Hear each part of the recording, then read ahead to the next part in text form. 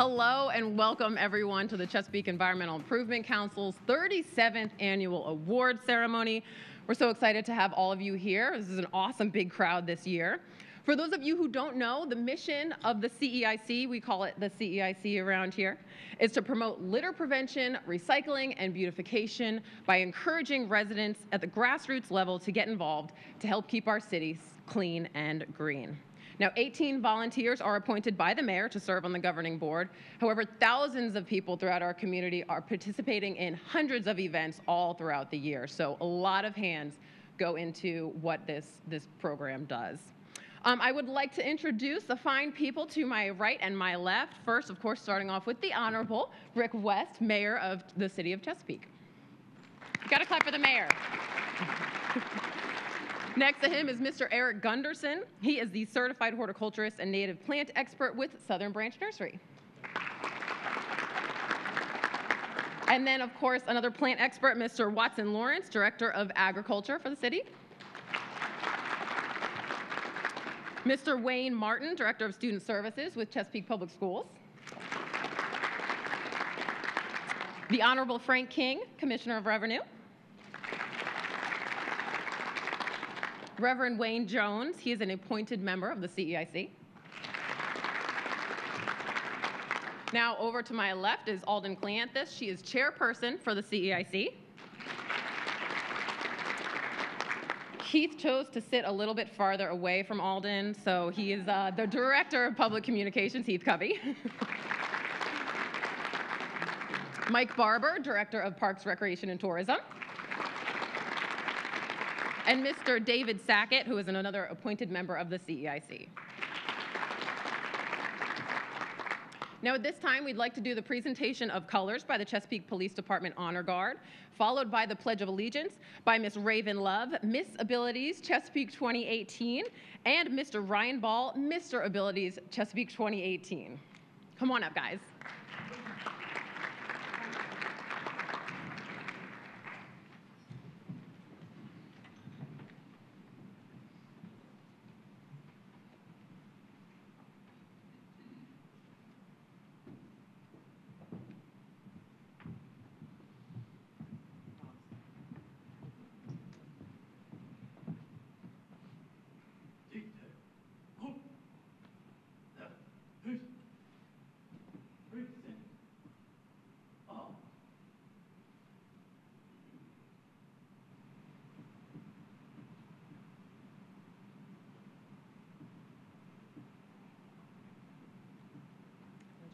I pledge allegiance to the, to the flag of the United States of America and to the republic for which it stands, one nation, under God, indivisible, liberty and justice for all.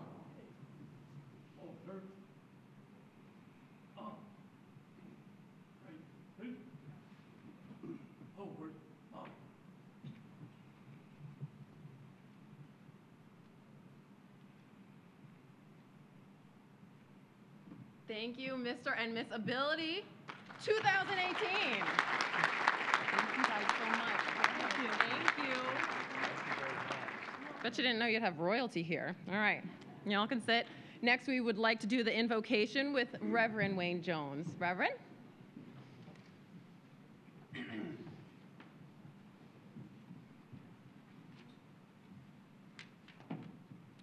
Good afternoon. In the second chapter of Genesis, I believe the 15th verse, you will find that God took the man and the woman, placed them in the garden to dress it and to keep it. Let us pray. O holy and all wise God, we thank you for this appointed hour. We come before you now to bless all those who have put their hands to the plow, who have decided to keep this city. We ask, Lord God, that you bless their hearts. Bless and continue to encourage each and every honoree, each and every willing worker, each and every volunteer. We thank you, Lord God, that we live in the city of Chesapeake. We thank you, Heavenly Father, that you have appointed over us the mayor, the administration, the staff, the workers, even those who participate on work crews. Bless each and every one who does their part to make this the most beautiful of the seven cities. And now, Lord God, we thank those who have prepared food for our sustenance. We know, Lord God, that all things come from Thee, and we bless you. We thank you for the food we are about to receive as nourishment to our bodies. This is our prayer. In the precious name of Jesus, I pray. Amen. Thank you, Reverend. Before we jump into our the, the big events, um, I want to recognize some of our council members who are here today. I'm sorry, I know you guys have your mouths full. Mr. Stephen Best, Mr. Matt Hamel, Ms. Debbie Ritter, and of course, Dr. Ella Ward up here. Did I forget anybody? Of course, the mayor. Shout out. Thank you, everybody, for being here. Um, Shout out to all the staff members too. Wave your hand if you're a city staff member. I see a lot of you here. I see you, Public Works. All right. Hi, thank you all for being here. It's great to have everyone. So, woo, I'm on now. Um, next up, I want to introduce Alden Cleanthus. We, we spoke a little bit about her, met her real quick before. Now I want to introduce her to you. She has deep roots here in Chesapeake, having spent nearly her entire life in Hampton Roads. One of her favorite places in the world is our very own Great Dismal Swamp. She attended Old Dominion University, where she received a bachelor's degree in environmental sciences. She actively serves on multiple committees for the City of Chesapeake, including the Stormwater Committee, the CEIC, and the Sustainability Committee. And this is her third year as chair for the CEIC. Now, Alden currently co owns Epic Made, a graphic design and marketing company, with her husband of 12 years. Is that still right? Carl. Um, she also works as a part-time consultant for various businesses, advocating for smart growth, sustainability, and environmental health. Alden finds her peace and quiet time in urban farming, growing a lot of her family's organic vegetables. I'm coming over for dinner. Um, her husband says she doesn't feel normal unless she has her hands in the dirt. But of course, most importantly of all, Alden is the mom to a wonderful little boy. So Alden, come on up here.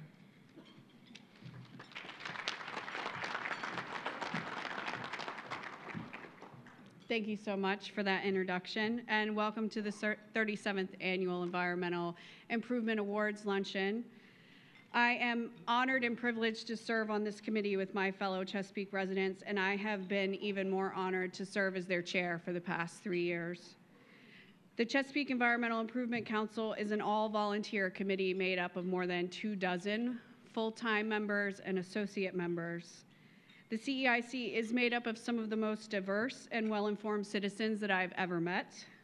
We are comprised of arborists, master gardeners, environmental advocates, enthusiastic recyclers, parks and recreation specialists, and even hobby farmers like myself. Every meeting is truly a treasure trove of information, and if you've never attended one of our monthly meetings, please do. If I could ask for a moment that the current members of the CEIC stand and be recognized and remain standing for a moment while I brag about you.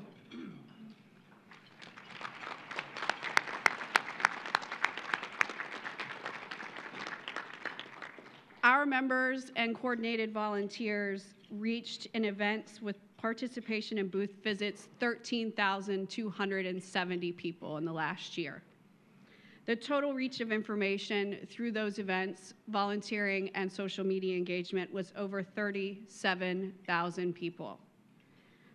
Our total volunteer hours across all environmental programs for the last year was 4,398. Trash and recycling collected at Chesapeake Recycles Day events with the coordination of CEIC was 80,000 pounds last year.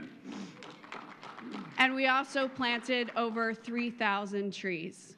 So thank you for all that you do. We appreciate you.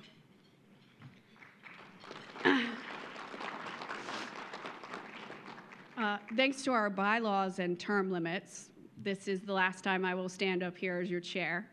So I want to take a minute to say that it has truly been an honor to serve with you all. I can't thank you enough for the trust you've put in me, the help, the inspiration, and the guidance. Thank you for all that each and every one of you do for our city. We do a lot to beautify the city and grow the recycling efforts of our entire community. And we are also doing a lot to help the general state of the environment. Our Notable Yards contest now includes criteria for stormwater management, native plants, and environmentally friendly practices. We have now expanded those same expectations to our Business Beautification Awards. Each subsequent year sees growth in the participation of our recycling events. This past year, we doubled the amount of trash that we recycled from the year before. In 2018, we ran an incredibly successful calendar photo contest where we challenged the citizens of Chesapeake to take their favorite photos of Chesapeake and enter them into a competition for real money. And we took the best photos and comprised a calendar that's available by donation out at our desk. There are some really beautiful places in Chesapeake that are included in there, and so are all of our events, so you can get more involved. And as seen by the massive growth in entries of our Clean and Green poster contest, our children are paying attention at last glance, we had 1,200 Chesapeake students registered to participate in the 2019 Clean and Green Poster Contest. We must continue to be good stewards of the planet and our community for the sake of our children and grandchildren, and we must continue to be the change we want to see in the world because our children are watching. I'd like to take a moment and give a special thank you to Megan Hale. Where are you at, Megan? She is our new city staff liaison and our tireless supporter. I want to welcome you to the team and thank you for making all of this possible in the last year and for pretending that I'm not a hot mess when we both know that I really am. I also want to thank Mayor West. Your support, interest, and commitment to our work is deeply appreciated. And with that said, I hope you all enjoy your time here today and thank you for your support. Thank you, Alden. Very impressive stuff, CEIC. Man, when you hear it all added up like that, it's awesome. Okay, next up, I would like to introduce the Honorable Rick West. He was elected to City Council in May of 2008, reelected in 2012 and 2016. He assumed the office of mayor in November of 2017 and was officially elected to mayor in May of 2018. He is a lifelong resident of Chesapeake Mayor West is a retired educator of the Chesapeake Public School System and a former middle school principal. Did anybody in here have him as principal? No? Any former students? Okay. Now, I'm sure you find them everywhere. So, uh, Dr. West earned his bachelor's degree in social studies from Old Dominion University, a master's degree in education from the University of Virginia, and a doctorate in leadership from Virginia Tech. Mayor West. Thank you. Thank you. I was really worried that one of you guys were going to raise your hand when she asked, were you? Yeah, I know you thought about it, didn't you? Yeah. Just to make me feel a little older. Thank you very much. You know, when I looked at my calendar this week and I found um, that I had a student leadership event yesterday and this event today, it really made me excited about, once again, as I almost every day, uh, being mayor of this great city if Steve Best is correct in the research that he did, I am the seventh mayor to get before you and uh, welcome you to this event. And it certainly is my honor. You know, I want to thank um, Ryan and uh, Raven for your leading the Pledge of Allegiance. Certainly, uh, Reverend Jones for your beautiful prayer and Alden for all the wonderful things that you've done and the leadership that you have uh, shown in this organization. You really have been a pleasure. You kind of renew my interest and my spirit in what I know is the right thing to do is keeping our city clean. You know, it goes all the way back to uh, Mayor Marion Whitehurst, who created a committee about uh, keeping litter, uh, keeping clean, keeping our city clean. And of course, then uh, Mayor uh, Sid Oman formed the committee, as you said, in 1983. And ever since then, we've had support from our city council, and it's been a, it's been a wonderful marriage. It was also a good experience for me as middle school principal to watch our kids get involved in the poster contest and so forth. So you all have a great history. One of the things that you talked about, Alden, when you were talking about the diversity of this, uh, this group, uh, uh, the CIC, the, commit, the meeting that I went to, not only did I get a lot of good information, the one thing they all have in common is they are very nice people. Just generally nice people that are concerned about their community and about their, um, uh, their city. recycling is one of the, one of the uh, missions of this organization. I met with an organization this morning that is going to be asking our city council for permission to build a $200 million plant to recycle uh, a lot of good stuff and to create some uh, to create wax and, and diesel uh, fuel from uh, commercial garbage. 97% of organic materials will be able, if what they say is accurate. There are 15 people from our city staff, from the communities that are going down to Durham to look at a simulated plant. And if that is true, you know, this organization will be their, your job will be easier. And I look forward to hearing uh, your input on that.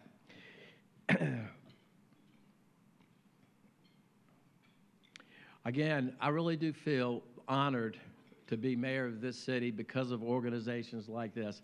And I do believe that God really does honor, honor our city and show favors. I think when we have problems that come up, like the recycling uh, problems that TCIP, TCI whatever are, are experiencing, there's always an answer that comes. And it's an answer that I can't explain in human terms, but there are always answers that just seem to meet our city's needs. And I thank you all for your prayers. We thank you for your support. Thank you for being here. And congratulations to all those who will be serving, uh, getting uh, recognized today. Thank you. Thank you, Mayor West. so now we move on to our speaker, Mr. Eric Gunderson. Eric is the owner of Southern Branch Nursery, which celebrates its 38th year here in Chesapeake. Very impressive. Mr. Gunderson is well known in the area as a native plant expert and holds certifications in landscape de design, Virginia horticulture, wildlife habitat design, and he's on the Chesapeake Bay Landscape Professional. He is a Chesapeake Bay Landscape Professional. He has served on the board of the Chesapeake Conservation Landscaping Council and is a member of the Virginia Native Plant Marketing Partnership. He is the recipient of the 2016 Virginia Nursery and Landscape Association's Environmental Steward of the Year Award. I had to take a breath to say that one. Eric is a graduate of Virginia Tech with a Bachelor of Science in Horticulture. Eric, come on up.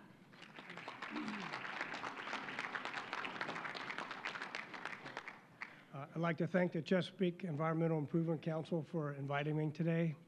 It's a pleasure to be here. I'm getting over a little illness, so bear with me if my voice comes and goes. I, will repeat as little, hopefully, as I have to. Uh, what I'd like to do is, um, excuse me, is show you um, by picture and, and verbiage of what I'm passionate about, what we do for a living at, at my business, but um, also why native plants are so vital and important to the natural environment and why we, it should matter to us. Um, I'll show pictures of initially of indigenous plants that grow in the wild right here in southeast Virginia and, and specifically Chesapeake that aren't in the stores for sale just yet or in the natural environment, but they're landscape worthy. Um, there's, there's more than you might think. I know uh, my, my nursery brethren aren't getting the plants out there is, is that's, that's my job, but I, am also going to show pictures of the interaction of the native plants with why it's important for, to landscape with them and have them in, the, in our neighborhoods and, and uh, businesses, in, in, the landscape and, and businesses. Uh, also, I'll show pictures of conservation landscaping using native plants and why, why that's uh, so important. Okay, so let's see. Um, uh, if I can, I'd like to read a few notes because I have a lot I did want to say, and then I'll get to the pictures and show you uh, what I brought today. Uh, and why the benefits of landscaping with native plants far outweigh using what I call out-of-town plants. Those would be ones from uh, Asia or Europe or not into the coastal plain or eastern, eastern U.S. Uh, native plants are visually beautiful. They're attractive year-round that with a change in the seasons from unique flowers to vibrant fall colors, leaves and stems, fruit shapes and colors, bark textures are all reasons to incorporate indigenous plants in the home or work landscape. Southeast Virginia native plants show a sense of place. Sassafras, our Chesapeake bald cypress, live oaks, southern magnolias all let you know you're on the coastal plain of Virginia. There are local native species unique to Southeast Virginia that aren't located in any other part of the state. A few to mention, and some of these aren't in the trade, but they, they should be. Cyrilla racemiflora, the tie-tie or leatherwood, Stewartia malacodendron, silky camellia, Clematis crispa, many common names, marsh clematis, blue jasmine, curly clematis, to name a few. I'll show some of these, but there's uh, many out there that I'm doing the best I can to get those propagated in the trade, and I'll, I'll go over that as I show pictures. Local native plants are essential to a healthy watershed. They provide oxygen and habitat for fresh and saltwater ecosystems. Plant roots absorb nutrients and prevent sediment from entering our local waterways, reducing pollution and improving water quality. Local plants are adapted to local temperatures and our local rainfall fluctuations. Once established, they require less watering, no fertilizing, no pesticides or insecticides to keep them going. A benefit in saving time, money, and precious resources. Spraying pesticides for insects and diseases is not necessary as local insects that feed on the local plants rarely eat enough to harm the plant as they need to physically come back and eat and eat again at another time. Mulching your flower beds with hardwood mulch leaves will feed your plants naturally as and help build a healthy soil that will feed your plant roots and hold rainwater in place, recharging our local aquifers. local native plants support wildlife better than non-native plants. Only native plants can be hosts for all the indigenous insects. This is vital for the continued existence of all the birds, mammals, and invertebrates in the area. Uh, some insects are generalists, but most are host-specific, meaning that the insects only have one or two species that they can reproduce on to continue their existence. Uh, everyone knows about uh, monarch butterflies. That's a good example. Uh, they reproduce on Asclepias species, milkweeds. If the milkweed plant isn't in the area, they go locally extinct. Monarchs happen to be a migratory insect. Uh, most insects live out their whole existence within one or two miles of where they originated. Uh, if their host plants that they reproduce on aren't present, they won't be present either.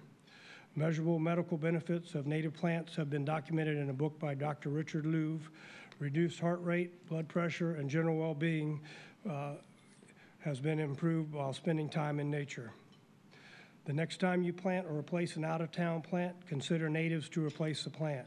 Please don't plant an invasive.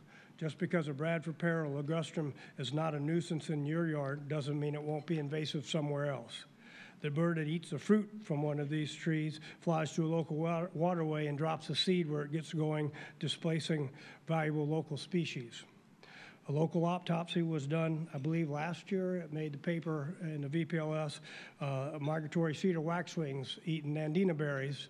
Uh, autopsy was done that the berries change their chemistry uh, as the fruit matures, and at the wrong time, it's toxic to local um, cardinals as well as migratory songbirds like the waxwing. So next time you need to replace a dying shrub or replace your nandina berries, consider a native plant. Um, most birds can only feed their young caterpillars, so if the plants that the caterpillars eat to reproduce on aren't there, then the birds won't be there either.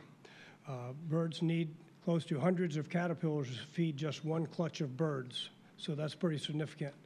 If the general public demands more local native plants, the supply will be greater and more species will become available to the home gardener and businesses. Seeing butterflies, dragonflies, birds, or bees, or lightning bugs around your plants is much more exciting than seeing nothing at all. nothing is what non-natives do for the environment. They are basically a statue or ornament just taking up space. If they are invasive alien, that just increases the diversity excuse me, the destruction of local biodiversity. Uh, just to give you a little connection with why town plants don't work, their chemistry isn't right. The plants and animals in this country didn't grow up together over the millennia, so that's why they can't use plants from, from out of country. Uh, When you take an invasive plant out, have a plan to replace it with a native. Native plants conserve energy and water. Deciduous trees create cooler and more stable environment. They produce oxygen and filter the air that we breathe. The backbone for water conservation is in using local native plants. We need to install cisterns, rain barrels, turf stone, permeable pavement where we can. Green roofs, rain gardens, bioswales, retention ponds, layered native vegetation, riparian buffers, bogs, living shorelines, all with native plants help keep the water on, uh, excuse me, keep the rainwater on the tax map parcel. Installing native plants in lawn areas which aren't needed for play will reduce the need for fossil fuel, fertilizers, and herbicides, and fuel for mowing as well as costly irrigation. No fertilizing is required for native plants if you maintain a leaf mulch bed. The plants will be fed just like the plants in the forest, building up the soil through leaf litter, mulching, and organic decay. This should be what you want in your flower bed. Soil microbes will build up to sustain the feeding of your plants. Native plants used in the home planting beds will help wildlife survive the urban environment. Animals need shelter from the weather and predators, as well as places to rear their young. Insects, birds, and mammals aren't notified when a virgin property is built upon or disturbed. If people garden with native plants, it may be helpful, maybe, excuse me. If people garden with native plants, it may help displaced animals with food and shelter until they can find a natural area. Provide wildlife food by gardening with native plants. Keep a brush pile, have a ground level water reservoir for drinking, have a small rock outcropping for invertebrates. So I'm hoping I can make this work. I'd like to show pictures of uh, some of the indigenous plants as well as their interaction with, uh, with, with other living things in our natural environment, caterpillars and their host plants. And then I'll segue into uh, conservation landscaping issues with, with native plants. This is Clematis crispa, I'm sorry, that I mentioned earlier as being one of our natives that grows wild around here. Just amazing. It blooms for about four months out of the year I've observed. This is going to be a new one for us. Uh, should have this late summer. Um, sonar shade, it just likes it moist, as many areas, not just in wintertime, but in summer too, are moist in Chesapeake. This is a, a, a, a no-brainer. Bignonia, uh, capreolata. This is a uh, cross vine, another native vine that's great for pollinators as well as a host plant for many insects. Uh, this is one of our deciduous rhododendrons that grows in, in the area. Uh, it doesn't grow most other places in the state. Rhododendron periclymenoides, pinkster bloom azalea, this as well as a rhododendron atlanticum, the coast azalea, which is more fragrant and, and all white, uh, grows wild out where we are, but in different pockets. You don't see them everywhere, but you'll see them in local uh, areas uh, where, where they like where they are. Clitoria mariana, butterfly pea, has a moth on that one. Uh, gorgeous pale violet, lavender flowers, blooms for a long time. This likes it somewhat well drained and, and at least half a day of sun. Vernonia noveboracensis, long bloom period late in the summer. Great pollinator plant, but it's visually beautiful people. You spend a few minutes around this plant and you, you feel better. Uh, this is uh, Cephalanthus occidentalis button bush. Uh, this grows na natively around here, but you don't see it too much in home gardens, and that's a, that's a shame. The flowers that you see there uh, look like a golf ball on steroids with spikes on it, and it obviously uh, attracts the local inhabitants. Uh, turtlehead and coastal Joe Pye weed together here. Uh, great plants, underused in the landscape. These are available at, at, at most nurseries in the trade. Uh, they're underused as well. Uh, this, this one is uh, fast becoming one of my favorite plants. This you'll see at some of the parks in Chesapeake. This is uh, Cyrilla racemiflora, tai tai. Um, green leaves most all the year. It has white flowers in the summer. Uh, about the time it starts getting cool, October, as early as mid-October, it starts having yellow, peach, orange, pink fall colors. Uh, the leaves hang on. If it's sheltered and doesn't isn't in the wind, it's almost evergreen. I've only seen a few that don't hold the leaves for maybe one or two months. But anyway, the, the after the flowers, where it has a seed fruit that drops, uh, it hangs on for quite a, quite a long time. It's very visually attractive, nice browns. Uh, this, this guy here, this is a larva of a giant swallowtail butterfly. It's, big because the butterfly is big. This is a larva feeding on its host plant, Zanthoxylum clava-herculis, a toothache or, or toothache tree or Hercules club. This is the butterfly itself. These are uh, the, the Zanthoxylum clava-herculis, uh, toothache tree, and the giant swallowtail butterfly are both I've seen in, in Pungo area, Virginia Beach, uh, stands of that tree there. I'm sure we have it in southern Chesapeake too, just haven't seen it myself in the wild. I've sold this plant to a number of um, Virginia native Butterfly Society people, and they've, last year they have had larvae from my plants, and these two pictures that I'm showing, this adult and the other, came from uh, from from from the plants I sold. This is a, a, mature toothache tree that they would lay their eggs on. So if this isn't here, they also reproduce on uh, hop trees, same Teleptera that um, beer is, is made from. So, but if, if those trees aren't there, then they're not there. I'm, I have some planted, but I haven't seen them at my place yet. But that's a big deal. They're very attractive, and when they're gone, they're gone.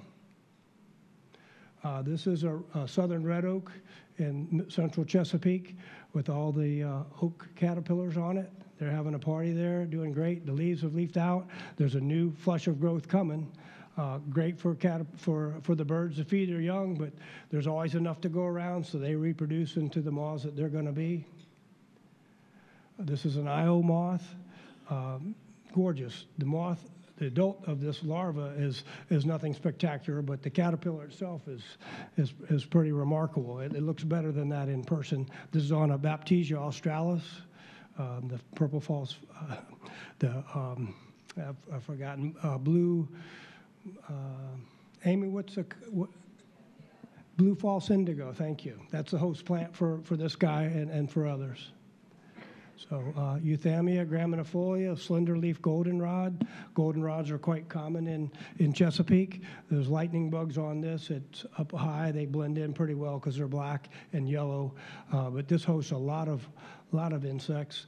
Uh, you'll see this in the fall. They're fall blooming plant. Uh, just amazing. They're short. They can take it dry as well as our moisture here in Chesapeake. Uh, another host plant. Uh, this moth I took a picture of at our place in Ch central Chesapeake. It looked like um, leather carving or wood carving. It was almost fake. Uh, this I, mentioned a lot of the moths aren't that attractive as adults. This one's just amazing. I don't know what it looks like. I haven't been able to identify it, but I, I do think it's common. Most moths hang out in the trees. Uh, they're, they're, they're not uh, perennials uh, that host them. Uh, this is a purple false foxglove. Agalinis purpurea is a plant. It's an annual, actually, but uh, it hangs around long enough in the fall for a ton of things to interact with it. This is a buckeye butterfly larva here, and I, uh, so anyway, that's, that's a very uh, valuable one as well. This is a leopard moth in our fern buckets in the nursery. Uh, it's about the size of a hot dog. It curls up when you agitate it, or I didn't, but I, I was handling it to get it to show itself to me. It has white, uh, red stripes on its uh, segments, and um, it burrows da down when it's agitated, evidently. Because I've read a little about it. The adult is is very attractive too. I was hoping to cage it and let it uh, pupate so we could see what the adult looked like when it came out, but it didn't happen. They evidently most moths they burrow down into the uh, ground soil layer uh, at night and then come out. And, and so uh, we've not seen it since, but I'm hoping they'll, they'll have some that come back again this year. Uh, spice bush swallowtail larvae look like little snake heads, very cute. This is on sassafras. They have a few uh, host plants that reproduce them. Uh, but the point is, you don't get this uh, genetic diversity without having the plants. Uh, I'd like to segue into uh, conservation landscape needs and uses, uh, conserving water, conserving energy and such with the native plants. Uh, this is a rain garden in Virginia Beach.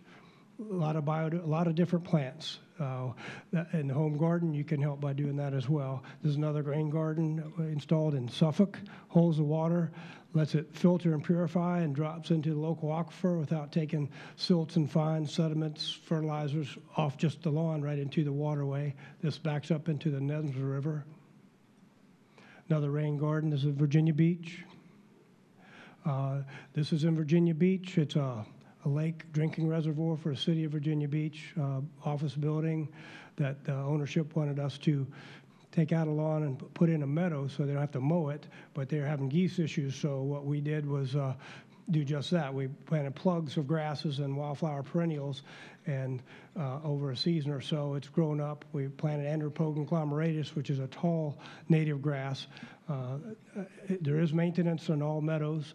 This only has to be mowed now once a year, but you're saving all that energy. The labor energy that was done weekly or every couple weeks for mowing isn't there on that humongous strip anymore. Uh, you do have some up close, but it, it has helped retard the geese uh, pooping on the sidewalks and lawn at the building. And there's another, another shot from the other direction. Um, shorelines, this is uh, probably a, a, a, concrete edge was built in the 1950s. This is in, in Norfolk on the Elizabeth River watershed.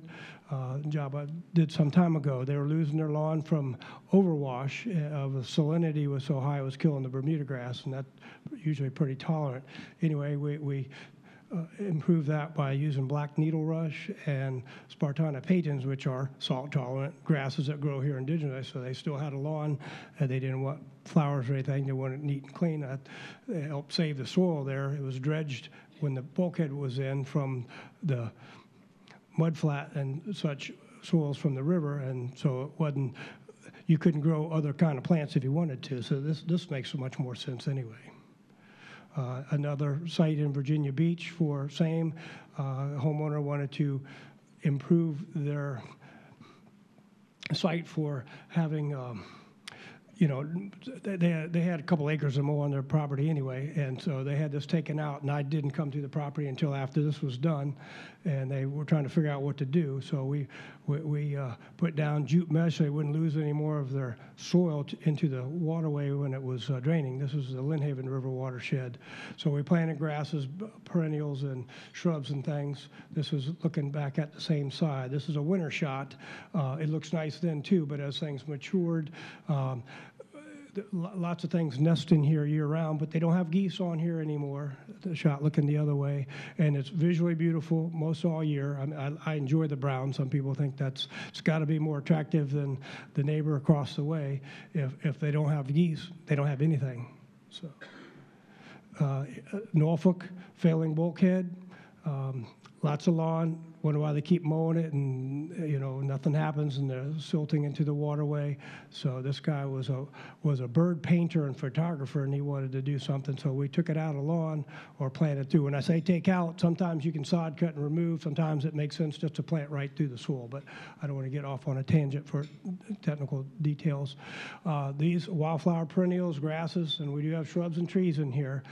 Uh, the picture's not great from this color, but you can see uh, Kosteletzkya, seashore mallow, uh, red lobelia, cardinalis, uh, there's some Pontederia, the pickleweed there, and some uh, switchgrasses. Um, I think it's much more exciting to see than, than that. So I don't have a couple more, bear with me. This is the funnest thing we get to do, or one, one of them, when we're improving properties, is taking the lawn away. That's a side shot. That's the front yard. 100% no grass because she's a single woman that's living there now. They don't, don't have kids to play with, so no big deal. Um, and turn it into a butterfly meadow. There's maintenance with everything, but there's a lot more fun than cutting grass. It doesn't cost any, any money. A friend of mine in Norfolk, trees had to be taken down because they were damaged in a storm. Didn't want to put grass back in, so we put a meadow, a little, little um, low, low growing uh, um, spectabilis, purple love grass as the dominant lawn gra- or dominant grass in the meadow, and then all the wildflowers blooming. Uh, it's been in a year or so now, it, and they love it. Looks great. Another way is to do conservation landscaping. This is uh, obviously um, floating islands with plants that can take oxygen from the atmosphere as well as the water. We're filtering nitrates and different things that people feel they need to fertilize their yard 20 times a year and it washes in. And at least this is a help. So you have clean water. This is in Norfolk. Dead trees be just as valuable or so as, as live trees. Woodpeckers, I think I got one. Yeah, there's a well, resident black snake on the, on our farm. There's a, a dead sweet gum that's about 30 feet tall. It went down last year, but it was up for quite a few years. I just let it go because it was valuable. Um, when it falls down, then the box turtles eat all the insects after the birds are done with what deteriorates a plant. So they're valuable. Don't cut them down until something's dead. It's, it has value. This is uh, waste management in Chesapeake. They have overflow BMP or practice as it were. They have a wet, a wet runoff from their parking lot that's back behind us, looking out to the road there. You can see their moniker. And uh, they wanted to set an example by not continuing to cut grass because it costs them time and money. And uh, so they put it in a, a, wildflower meadow. We have grasses of mixed kinds in there and, and wildflowers. And they love it. They cut it once a year. They just, just did it for the first time. It's a little over a year old now. And um, it's, it's a showpiece for them. It's a lot more pleasing than just grass when they drive in. So uh, that's all the pics I have. I know I probably extended my time. So uh, come to the nursery and visit if you want more conversation. I hope that was bearable. Thank you.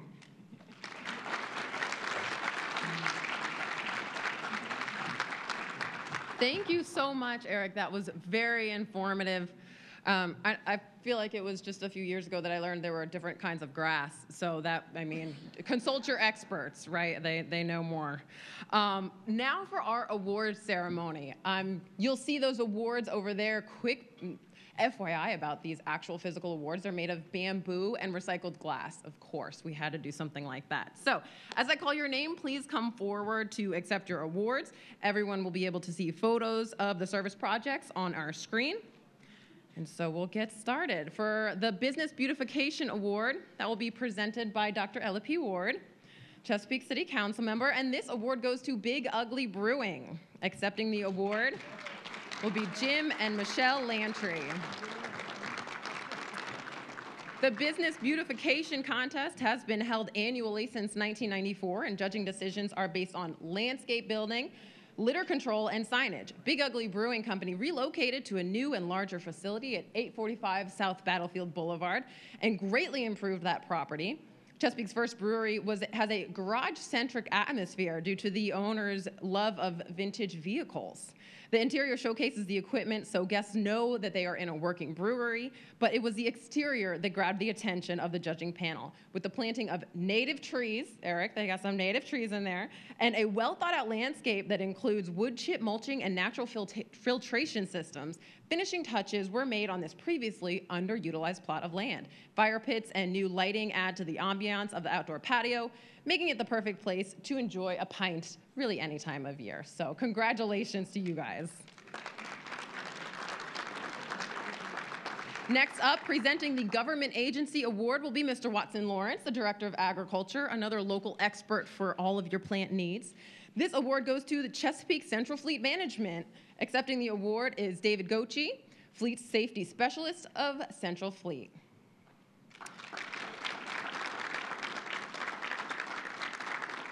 And I see George Reshak going up there too, so shout out to George.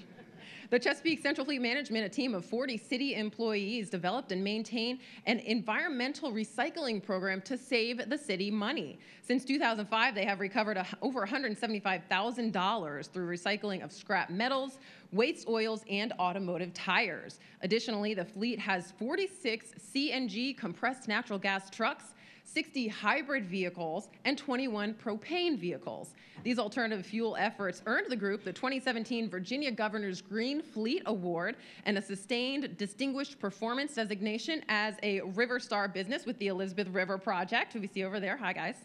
The team has offered guidance and support to other organizations and cities on ways to improve their imp environmental impact. Congratulations. Next up is the Adult Community Organization Award. This is being pre presented by Mr. Mike Barber, Director of Parks, Rec, and Tourism.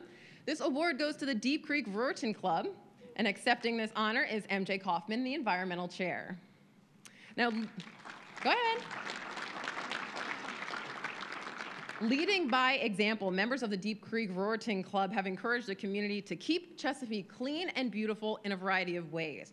With direction from the group's environmental chair, MJ Kaufman, the organization actively participates in the Chesapeake Adopt a Highway program and has supported Clean the Bay Day for over 20 years, as well as the Parks, Recreation, and Tourism's Paddle for the Border event.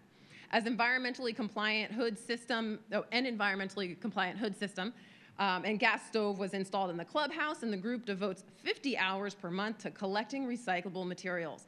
The 74 members give over 600 hours to bettering the environment in Chesapeake every year. Way to go, you guys. Now, moving on to the Youth Community Organization Award. This is being presented by the Honorable Frank King. And this award goes to Chesapeake Community Programs. Mike Porter is here accepting. The the Chesapeake Division of Community Programs works with youth, youths and adults in the area to give back to the city. They perform numerous tasks that include weeding, pruning, trail maintenance, and graffiti, graffiti removal and cover up. They're actively involved in the care and maintenance of the Chesapeake Arboretum. In 2018, over 120 youth and adults removed an estimated 800 pounds of litter while working in Chesapeake parks, like Oak Grove Lake Park and Northwest River Park. Well done. Presenting the Community and Communications Award will be, of course, Director of Public Communications, Mr. Heath Covey. And this award goes to Unity Renaissance Church. Accepting the award is Reverend Paul, I, I knew I was going to mess this up, McDessie? Reverend McDessie. McDeesey, there it is. Third time's the charm. Congratulations. Unity Renaissance Church has made enormous improvements to their property in the name of the environment. Volunteers converted the grounds to a wildlife habitat by eliminating fertilizers and chemicals, preserving their heirloom and native species, and installing a monarch garden, birdhouses, and feeders. In January of 2018, the church installed 66 solar panels on their roof, reducing air emissions by over 17,000 pounds in just nine months. The congregation practices the three R's by reducing impervious surfaces by sharing a parking lot with an adjacent office, reusing ceramic coffee mugs and harvesting rainwater, and recycling plastic, glass, aluminum, and paper. Well done.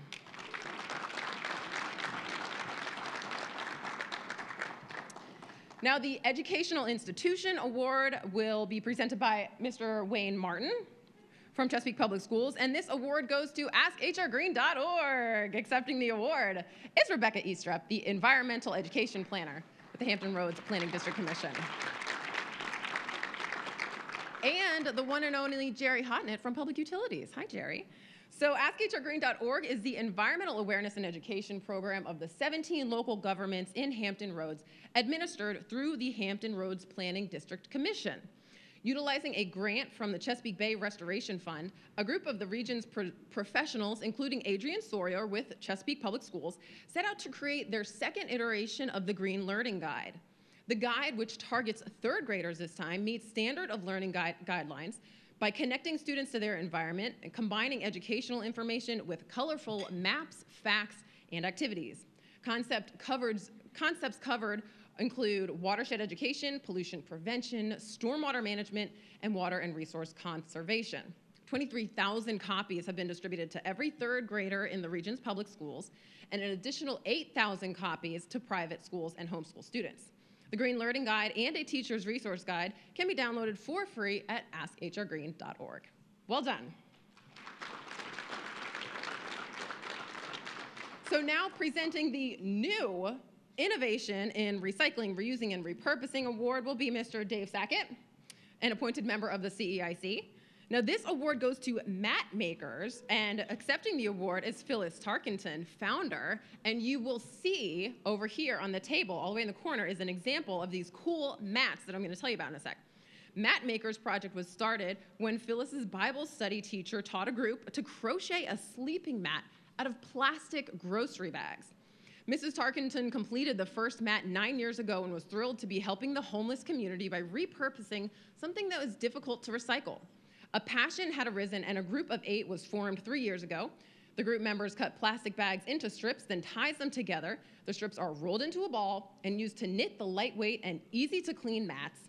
It takes anywhere between 500 to 900 bags just to make one mat.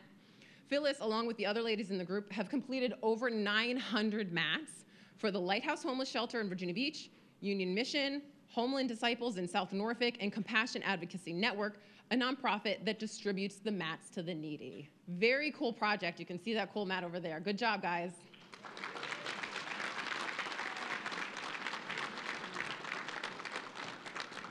So next up, we are moving to the Business and Industry Award being presented by Alden Cleanthus, our chair, the CEIC chair.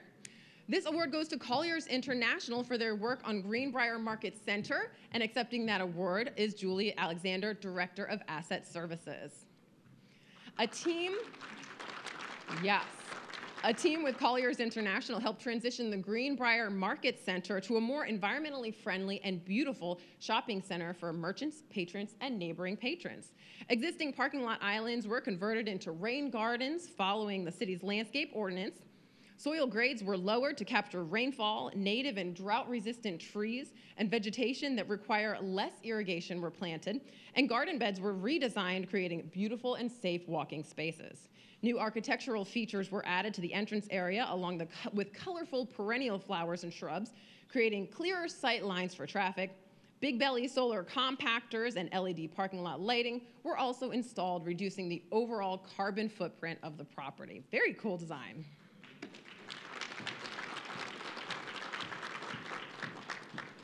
Now we are moving on to the Outstanding Citizen Award. This award, yes, very exciting, right? I heard that. The Outstanding Citizen Award was established in 2008, and it recognizes individuals whose actions improve the environment's well-being um, and the well-being of citizens in Chesapeake. At this time, the Honorable Frank King is very busy today, and he will help us present the Outstanding Award to Mr. Rusty Barath. Rusty, come on up.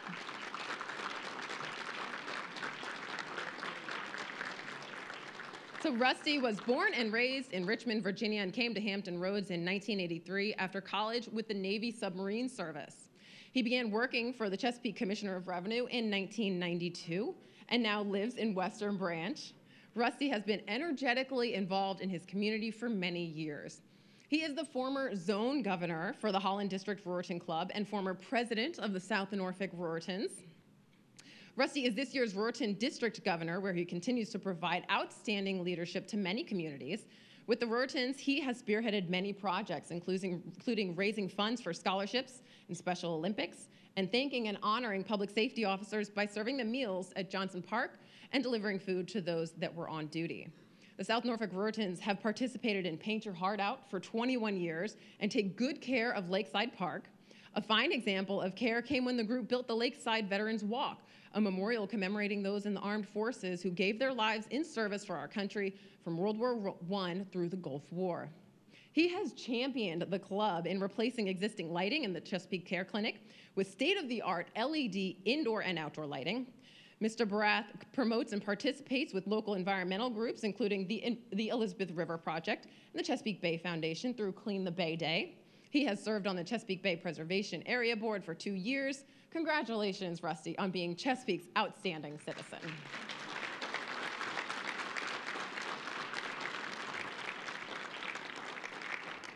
Okay, and if it couldn't get more exciting, next up we have the Pioneer Award. This is our biggest award of the year. One individual chosen to receive the most prestigious award. This individual is recognized for her many years of service to the city of Chesapeake and to the environment. So at this time, Mayor West, if you would help us in presenting this award, the Pioneer Award to Mrs. Amy Weber.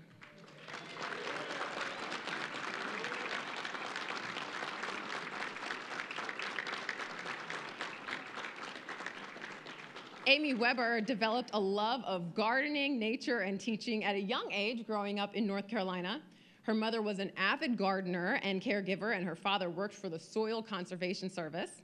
Amy moved to this area after high school and settled into her current home in Indian River with her husband Roger and their son Eric. Volunteerism has always been an important component of Amy's life, giving time to the PTA, Boy Scouts, marching band, and early childhood education associations. She had a 24 year career as an early childhood teacher where she promoted learning through hands on experiences, illustrating, obs- observing, all while respecting nature, plants, and animals. Amy is now semi retired, and I love that term. She's like semi retired, working part time as a school library book sales rep, allowing her more time to be involved with environmental and community groups. She's a founding member of the Friends of Indian River, where she collaborates on a variety of projects with community members, the City of Chesapeake also, and with the Elizabeth River Project. Amy led the design and installation of the native plant garden at Indian River Park and ensures volunteers continue to care for it. She has been an active member of Chesapeake Green Drinks since 2013 and an appointed member of the Chesapeake Environmental Inclu- Improvement Council since 2014, currently serving as secretary, doing very good taking notes. She also became a Chesapeake Master Gardener that year, a longtime goal of hers. Amy has bridged the CEIC and Master Gardeners together to create a much needed recycling information flyer while continuing to work on issues with garden and with water and soil quality, even assisting her church with a rain garden project. Amy volunteers her time with the Chesapeake Humane Society on stormwater remediation and beautification projects. She serves on the Southampton Roads Master Gardeners Green Thumb Education Series, at committee co-chair, as committee co-chair and continues to uplift her and support her community in so many ways. Amy's husband passed away unexpectedly in the fall of 2015, and it was through the support from family and friends that helped her through this difficult time. Her commitment to work and volunteer efforts kept her going and really filled that void in her life. Most everyone in this room, me included, has had the privilege to know Miss Amy Weber, and it should be no surprise that she is being honored here today the community. We all really thank you for everything that you do, Amy. Congratulations.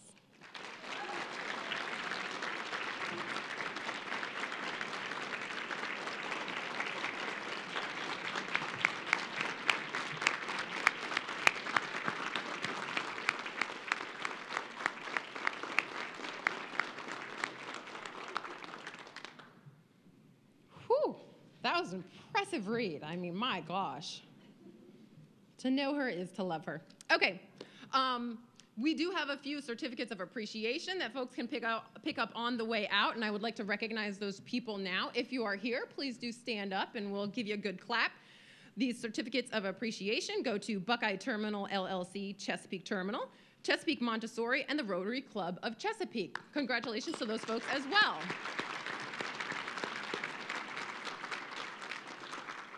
Well, guys, we did it. We got through it, all of those incredible awards. Thank you, Eric, for that awesome information. Now I feel like I need to go home and work on my yard. Um, thank you to everyone who supports the Chesapeake Environmental Improvement Council throughout the years, all of our elected officials um, and city staff who are so involved in all that we try and do around this community. And we want everyone to be on the lookout for cool projects and incredible people who are doing good things in Chesapeake and make sure to nominate them for these awards next year. So we will see you then. Thank you, everyone.